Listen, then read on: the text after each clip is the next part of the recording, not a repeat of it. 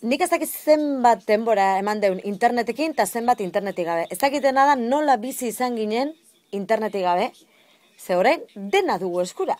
Dena informazio guztia eskura dugu. Eta internet hortxe gaude, sare sozialetan hortxe gaude. E, frente pilo bat ditugu irikita gu programa egiten aigeanen momentu hortan aurretik prestatzeko geroako behar deu, oza, momenturo behar deu. Eta leno, pues, ezken nun beharrik, ez zeolako, baina ez dakit, ez, ez dakit nola genuen informazioa lortzeko, ez dakit.